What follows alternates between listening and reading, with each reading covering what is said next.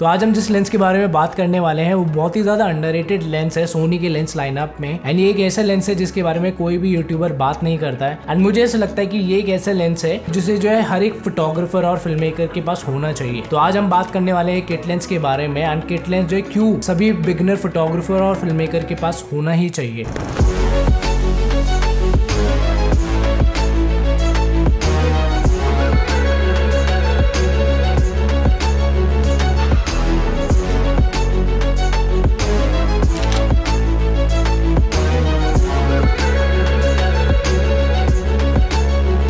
There are multiple reason कि क्यों मुझे ये सोनी का लेंस जो है बहुत ही ज़्यादा अच्छा लगता है। बट मैं आपको जेनुअनली बताऊँ तो कुछ लोग जो है कंसिडर भी नहीं करते हैं किट लेंस को ख़रीदने के लिए। इसका रीज़न बहुत ही ज़्यादा सिंपल है।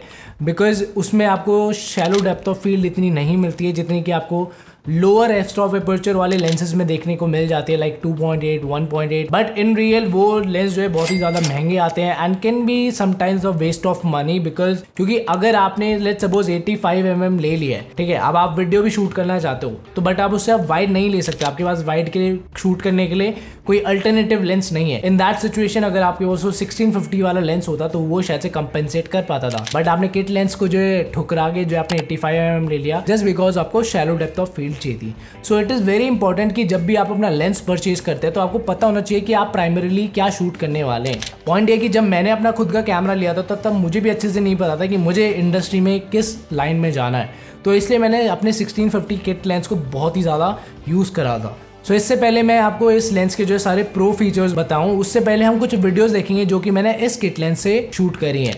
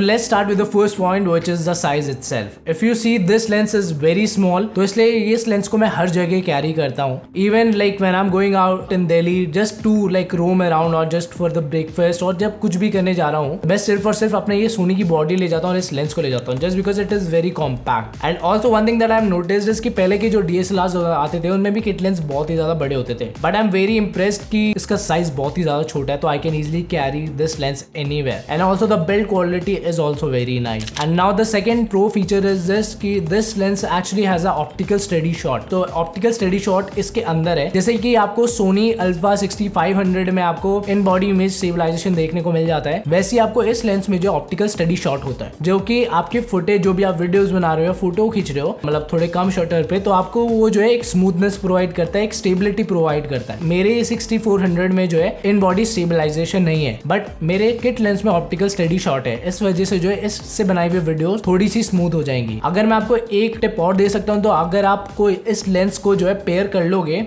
मतलब ए सिक्सटी फोर हंड्रेड के साथ प्लस अगर आप अपनी कैमरा स्ट्रैप भी लगा लोगे तो you can actually shoot some interesting B rolls with this lens only. Now the third point that actually very interesting is the zooming range. And uh, 1650 is actually a very good focal length. If you want to shoot close up तो आप close भी इससे जा सकते हो। अगर आपको wide चाहिए तो वाइड भी जा सकते हो। तो इसका जो जूम रेंज है ना 16 टू 50 वो बहुत ही ज़्यादा अच्छा है। ऑल दो फिफ्टी एम एम पे जब आप इस लेंस से शूट करते हो तो ये इतना शार्प नहीं रहता है।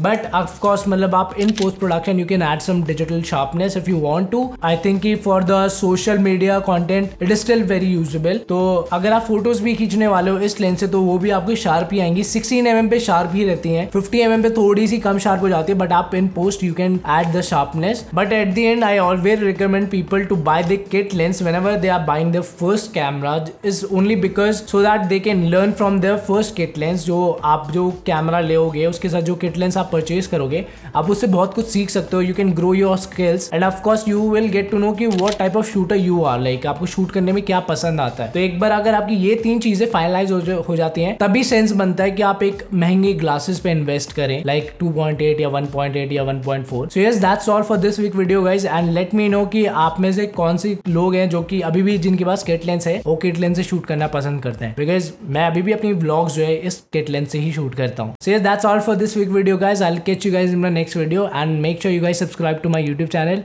And yeah, thanks for watching. Peace out.